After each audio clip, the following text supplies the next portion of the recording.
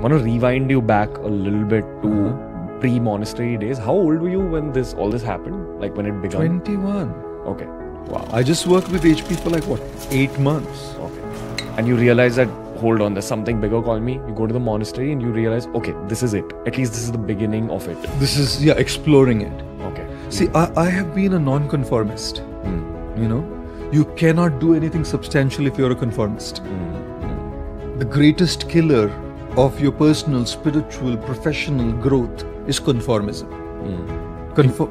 Yeah. Hmm. Yeah, can you make that simpler for the listeners? Yeah, yeah, yeah. The the greatest killer of our growth is to give in to what society thinks you should be doing. Hmm. There are social standards of what you should be doing. Socially, it's cool to have a job or a business and start it this way and have a home in a certain place, have a certain car, wear a certain kind of clothes, have a certain kind of hairstyle. And we give in to it because we want to be socially accepted. Uh, there is also the other side of the story, which is pressure from family, parents, where there is conformism and giving in there because what will my parents think? मेरे parents ने मेरे लिए इतना किया है बचपन से मुझे किया है मेरे पापा का सपना था मैं इंजीनियर बनूं मेरी मम्मी का सपना है मैं डॉक्टर बनूं अरे उनका सपना है वो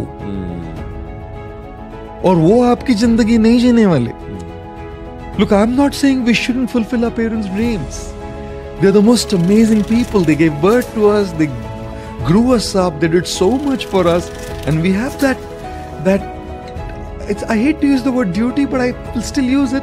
Duty out of our genuine love and gratitude to serve them and their emotional support, their love will always be there for us.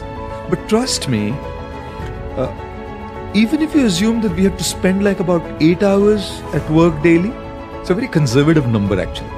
To spend way more than that. But even if you have to spend like eight hours at work daily and you're working five days a week, that's 40 hours at work a week. Hmm. And assuming you take two weeks of holiday every year, that's 50 weeks working, that makes 2000 hours of yours at work.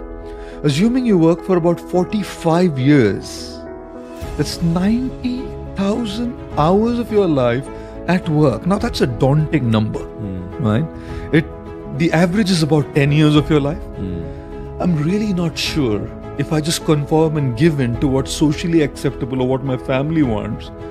90,000 hours of dissatisfaction, hmm. 90,000 hours of cribbing and complaining that I hate it, I don't like it, this is not what I wanted to do, what to do, this is what trends, this is what pays, this is what my parents wanted.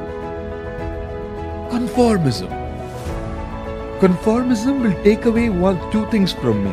A, my satisfaction.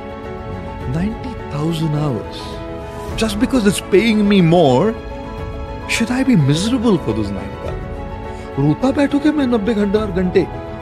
यार मैं मैं मज़ा नहीं आ रहा है अगर क्या करूँ यार? करना पड़ रहा है, ये पॉलिटिक्स चल रहा है, ये प्रेशर चल रहा है, अभी क्या करें? स्ट्रेस है, करना पड़ रहा है। नब्बे हज़ार घंटे?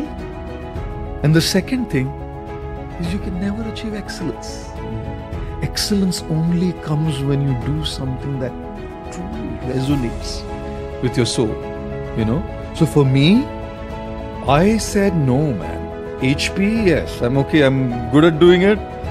I was good. Very decently good at my work. But it's not fulfilling me. You know? And I, I don't suggest people take a risk like me. Definitely don't. I usually tell people that you have a mainstream something through which you earn and then follow your passion side by side. So that there's no risks involved, calculated risks. And then when this takes over and grows, then chuck this out mm. and make this as your main thing Well, my my system didn't allow me to do that, ca- take that calculated risk. I just took the plunge and jumped in and said, no, I'm not going to do this if it doesn't really kind of resonate with my soul. You know, so I've been a non-conformist. मैं मैं समाज ऐसा बोलता है and of course my family was a little hurt with it obviously they would right but uh, now that they see what it has come out to be